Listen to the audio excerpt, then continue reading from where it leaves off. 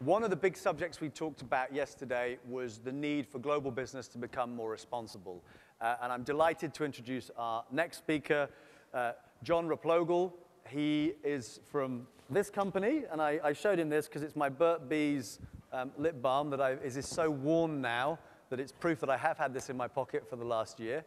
Um, but he, he basically he joined the company in 2006 and he launched the whole Greater Good CSR program, which is actually at the core of their business. He's a very keen canoeist. He has four young kids. Uh, and importantly, today, he was one of our early sponsors, and he made it possible for 10 of you to be here today. So he's somebody who is actually, you know, putting into practice how we make global business more socially responsible, and he's going to talk to us about that. So if we could give him a One Young World welcome to the stage, please.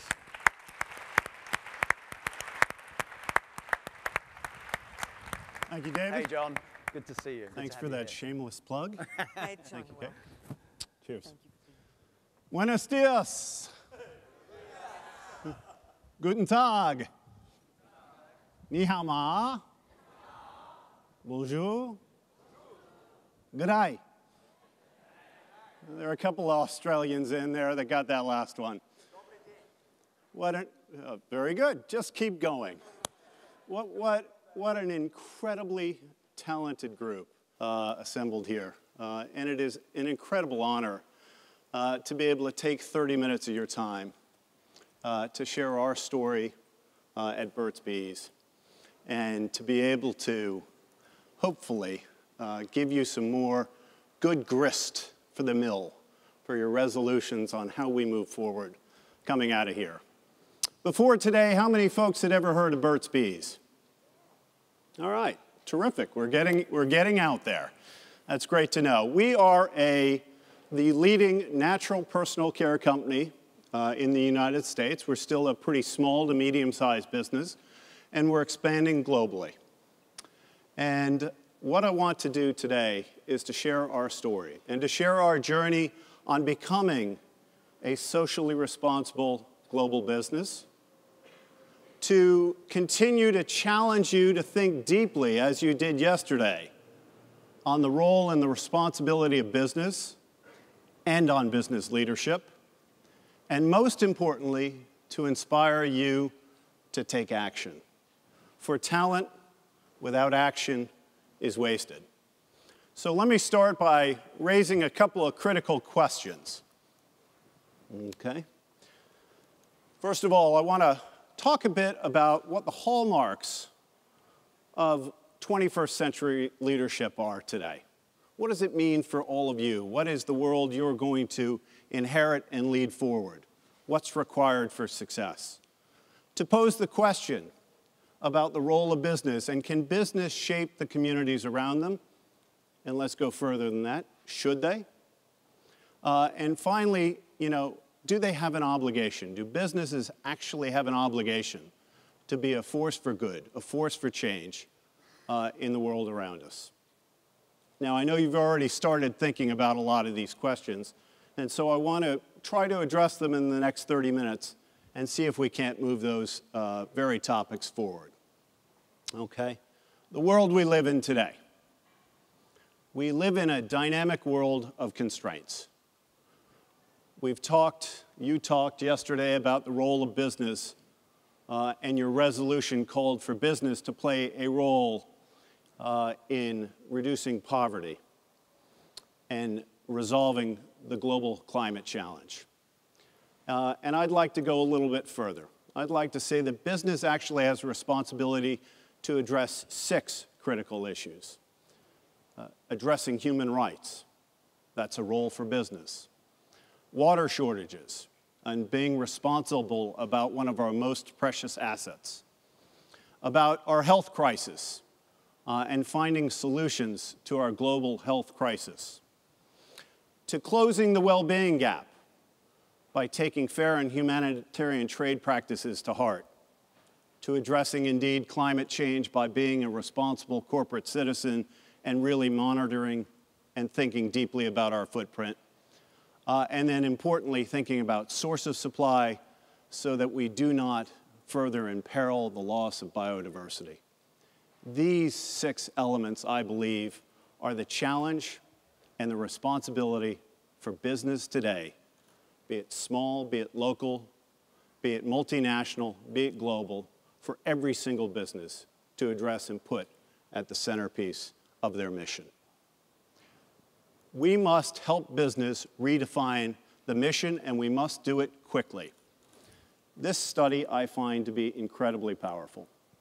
This is a study that was first undertaken in 1972 and updated again in 2004, and it shows what we are doing to our one shared asset, to the planet that we all share, to the global interdependence that we all face.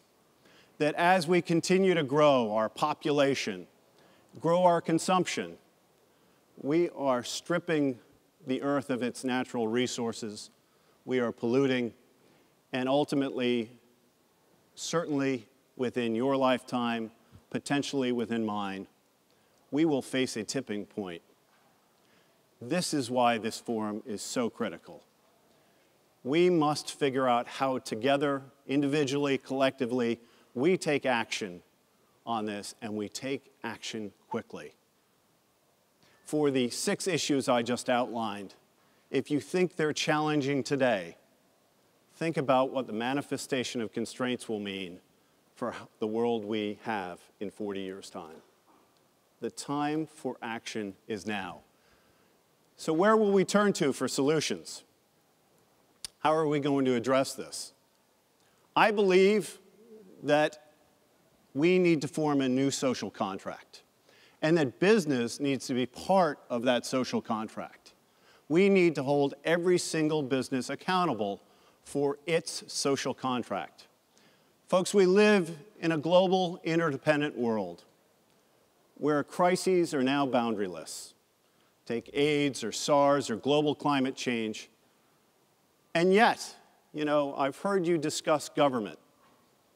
Government today is not boundaryless. In fact, it is an old form of governance, and it is not flexible and adaptive it is not going to move fast enough to address these issues. So, where do we need to turn for solutions? We need to turn to business. Business today operates beyond national boundaries. Business today has global interests. Business today is fast and flexible. And frankly, business must have a responsibility to shape the outcome before the manifestation of those constraints takes hold. So I want to challenge you with this thought, frankly, and it's the idea that business is predicated on meeting the needs of consumers, right? And consumers are people. So if you think that business is formed to meet the needs of consumers, i.e., people, then you can see business leadership as a call for service. I see my role as CEO of a business as one of servant leader. That's my responsibility as a business leader. So we must turn to business because business, I believe this came up yesterday, is one of the most powerful forces on earth. Half of the global economies today, the top 50 of the top 100, 50 of those are global corporations, single entities the power of business is phenomenal. But that responsibility that comes with power must be used wisely. There are 18.8 million people employed across the top 200 corporations. Uh, and an astounding fact, they represent four fifths of the economic clout of all of humanity. Through business, we can drive solutions. Through business, we must drive solutions. And therefore, every business leader, any of you in this room today, must feel that you have and share this responsibility. Any of you working with, buying from, partnering with business must help each company locally, nationally, globally understand this awesome power and responsibility to be a force for change and a force for good. In fact, we need to change the mission of business from one of simply share, uh, serving shareholders and delivering profit to a mission that is balanced across the triple bottom line that focuses on people, on the planet, and on profitability. That is the ultimate sustainable business model. And what I want to share with you now is a bit about how Burt's Bees has thought about that triple bottom line. And we do that through something we call the greater good. That's our business model. And I'll walk you through how we're taking seriously our social contract, our responsibility to our community and our planet. Our business started from very, very humble roots. Burt was a hippie beekeeper. Roxanne had decided to drop off the grid. The two of them moved to a very small town in northeast United States, a state called Maine. Burt was keeping his bees. Roxanne, a graphic designer, designed his first label. They took, out of necessity, a resourceful approach, and from the beeswax created uh, our lip balm and then many, many other natural personal care uh, products. And their mission is now our mission as I lead the business forward some 25 years later. We strive to be the greenest personal care company on earth. That is our foundation and our roots, and it continues to fuel us today. And that takes the form of what we call the greater good business model. And I've heard the words transparency shared, and I put this up there for everyone to take, everyone to copy. I hope that others will be inspired by other business, will learn from and adopt our business model. Now, I went to the Harvard Business School where they told you that competitive strategy was all about keeping secrets and keeping close in. So I'm sharing our secret of how we run our business. That's the greater good. Our business has three core tenets. We try to deliver natural health and well being through our products and the way we make our products. We deliver humanitarian social responsibility by being active and engaged members of our community and thinking about our principles of service. And finally, we take environmental uh, responsibility seriously. And these three orbits, if you will, all center around one thing. One thing that defines our business, which is relationships. We don't see ourselves as separated from the world around us or serving simply one master, the shareholder. Rather, we serve a community we serve a broad set of stakeholders that includes not only our shareholders, but our consumers, our customers, government agencies, even our competition. We see ourselves as inextricably linked to others around us. And it is this relationship that we nurture every day through our business model. So that's the tenet of our business model. With that, what we try to do then is take a local responsibility in every market in which we operate.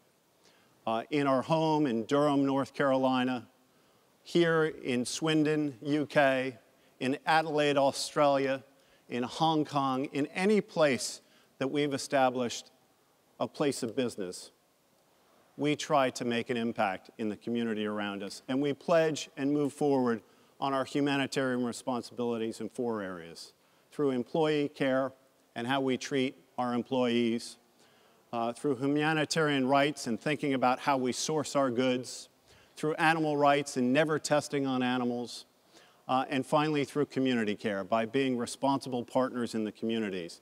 And we do so much of that through our partners.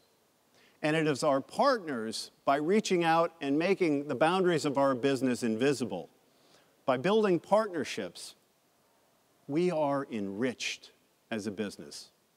We gain more from our partners than we give. It's an incredibly rewarding and valuable part of our business model. And what I want to share with you now is how we take that into the heart and soul of our business. We have tried to build this into everything we do. We call this living the greater good. Every single employee we want 100% engagement against our social humanitarian mission. We have a team we call the EcoBees, and that is an acronym for Environmentally Conscious Organization Bringing Ecologically Empowered Solutions. You all write that down? EcoBees. It is a grassroots team that is thinking consciously about what our footprint is. We've got all of our employee programs linked and aligned so that every single employee of Burt's Bees has exactly the same reward structure, from me to the newest employee. And those rewards are tied to our metrics on sustainability. We reward based on how well we do for our community and for our planet. We have benefits that help not only foster that spirit within the company, but to take it out, to take it out into the community, to take it into homes, uh, to train and develop. Uh, and so we've integrated this into the soul of our company, and we take time then to nurture it. Uh, and every year we close down the entire operation, and we come together as one team, one family, to celebrate our culture. And we call it Culture Day. And I want to share with you what we did last year by getting out in the community, uh, partnering with Habitat for Humanity and with a great organization called Kaboom, and making a difference in the lives of some really precious, underprivileged kids. So let's roll the video.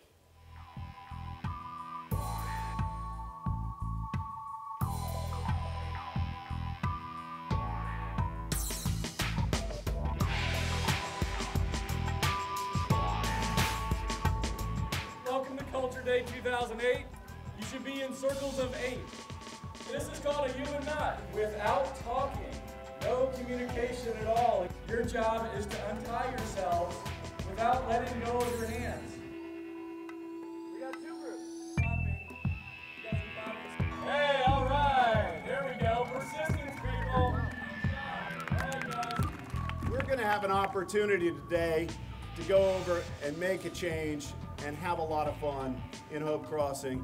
And we're going to have a lot more fun in the days ahead as we continue to build what we started last year with the Epps family in Hope Crossing. Let's go build a playground.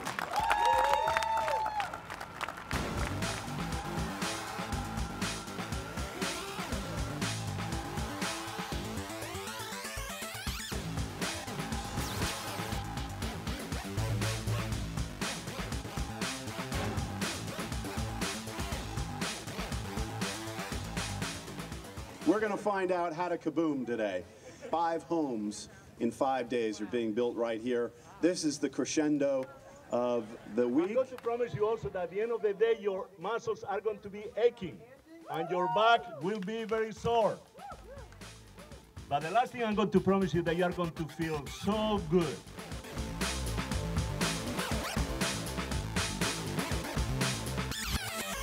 We work hard all day, all week in our jobs, and it's the day that we all leave that and come together as a group and work together to build something. It shows that the company that I work for really cares. It will actually give other companies that say, okay, yeah, we need to go out and support and help our community also.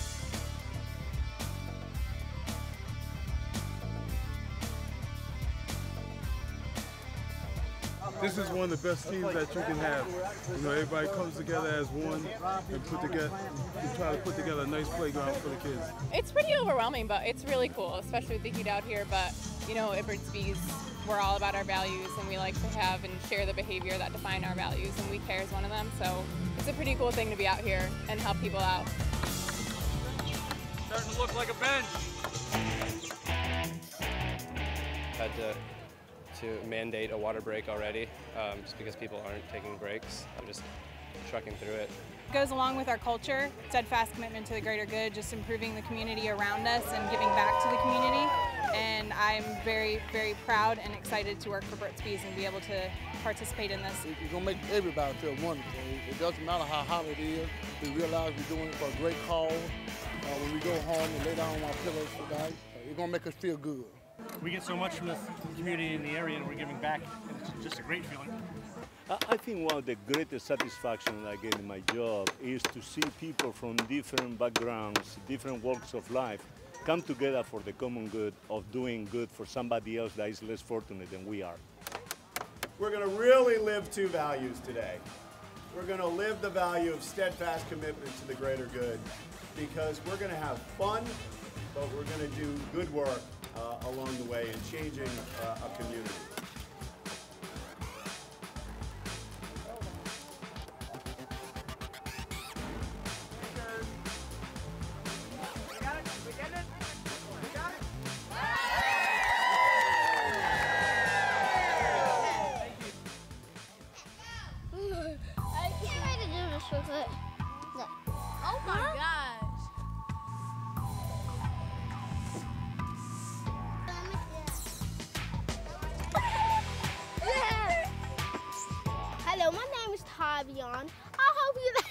Because it's so clean and shiny, and I hope you come too.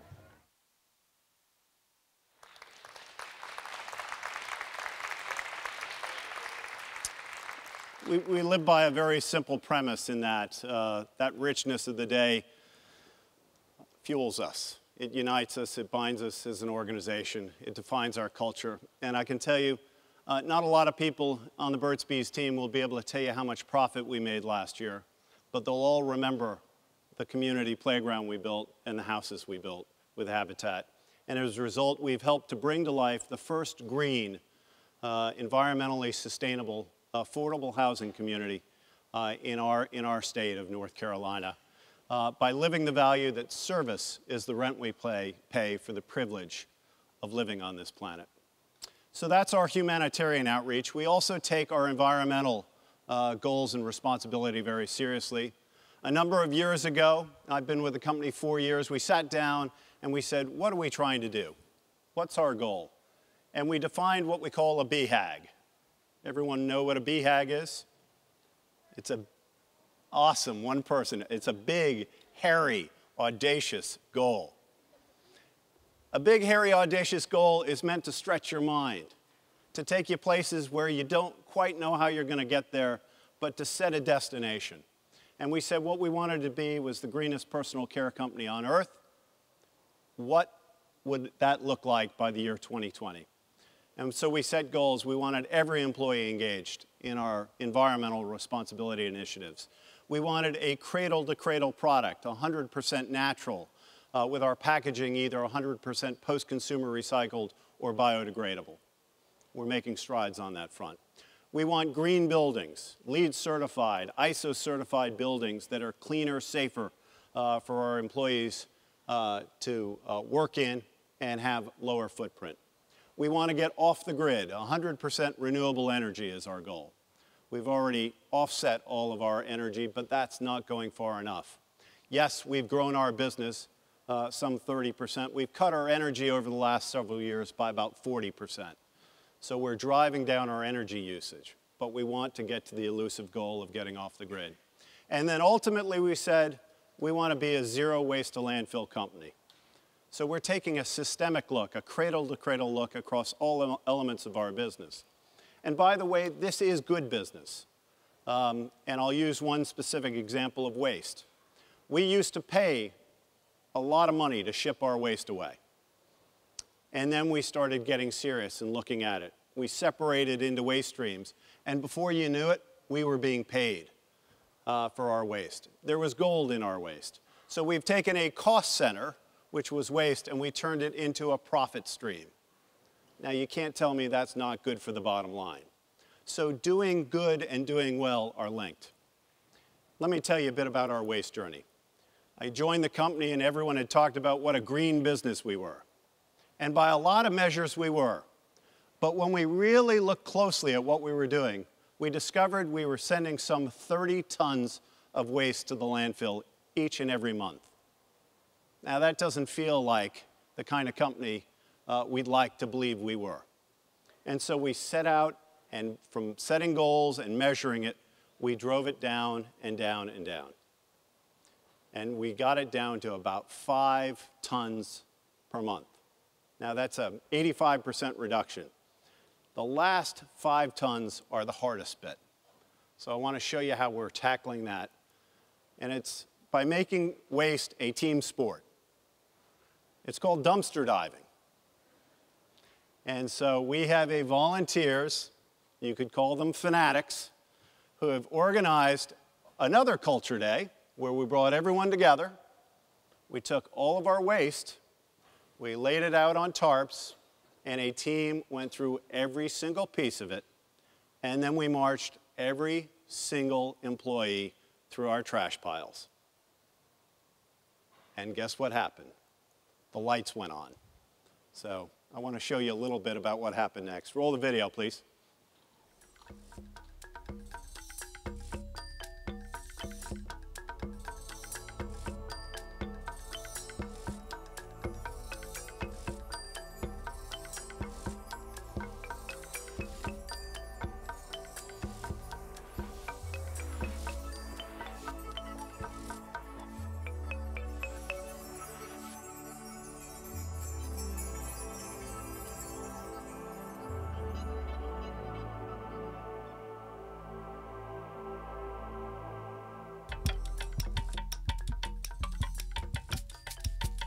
This is dumpster day. We have collected all of the landfill waste that our RTP operation generates for the last two weeks. Today we're sharing it with everyone. So we'll bring all the employees through. There's at least one piece of material in all this that, that every employee is going to recognize and hopefully remember that they put that into a trash can at some point. And hopefully we'll spur some thought that maybe we can find another home for these things. Now we're sorting it into basically three categories stuff that we do currently recycle that should not be in the trash, items that could possibly be recycled if we had an outlet, and then the last pile is things that are truly trash. You can just imagine over an entire year how much room this would take up in a landfill. Well, we've got everyone from marketing to financial forecasting to the safety department to customer care uh, to some of our production employees mixed in. Today's event is designed to educate our employees about the choices we make every day, about what we do and don't throw away. The opportunity that we have to make a difference, it's, it's awesome. And we will make a difference. That's from Bad Barb.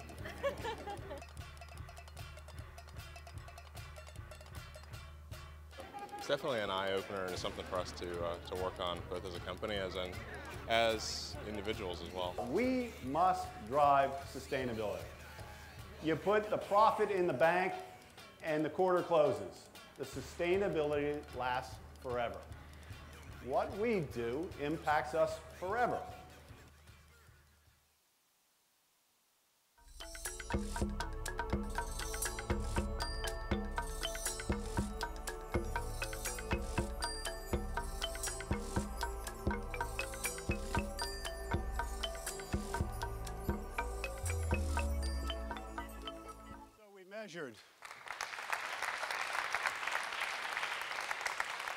So we measured what we were doing. We set a goal.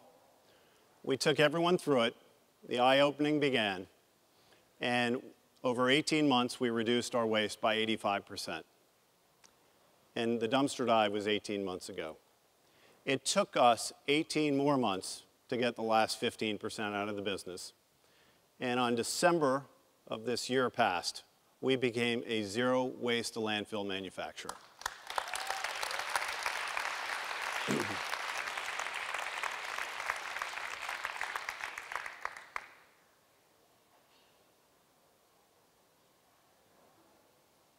Employees want to do the right thing. They need leadership. They need to be inspired. They need clear direction and goals. And they need freedom to succeed. If you create the right culture, the right environment, you will be amazed at what your employees and your team will deliver. I don't take credit for this. This was driven by every employee at Burt's Bees. It's about shaping the environment for your team. It's about leadership. That's where each and every one of you can make a difference. And imagine when a small company like Burt's Bees makes that happen. Can you imagine if each of those top 200 global corporations did exactly the same? Do you think we could start to shape the curves differently? We could change the manifestations to the limits of growth. We could begin to solve those crises, those six different issues in front of us. Imagine the power. Imagine it. Now, what are we going to do about it? How do we make a difference? What's it mean for you? Right? We face great challenges, but challenges bring opportunity. The glass isn't half empty, it is half full. This is the chance for all of us to shine, to make a difference. Our challenge and challenges and constraints require us to redefine the role of business. For business to form a social contract, we need to form partnerships, pressure, reward systems, and value structures for business to understand this. And each and every one of us can make a difference through social media, through our buying behaviors, through our network of friends. We can make a difference, especially for all of you who work within businesses. There is a tremendous industrial revolution going on. We need to embrace it and seize it. We can accelerate it. We have the power. This is a great forum, a great beginning. Take the model and make it happen. Let's form that new social contract. Let's set out from here with real action and commitment. I want to challenge each and every one of you to think about this deeply and push harder on the business social contract, to think about all the responsibility business must have, and think about how you, as business leaders, can take the reins and create compassionate, socially responsible business leadership. And it starts, you are all so bright, by leading with your head as well as your heart. To think globally, but importantly, to act locally, to be a force for change in your communities on every single level, to embrace this notion of the triple bottom line, and to be a voice within the community of your business to drive new principles of responsible business leadership. Individually, you can change your community, you can change your company, and imagine together what we can do. Together, this forum can change the world. Thanks so much.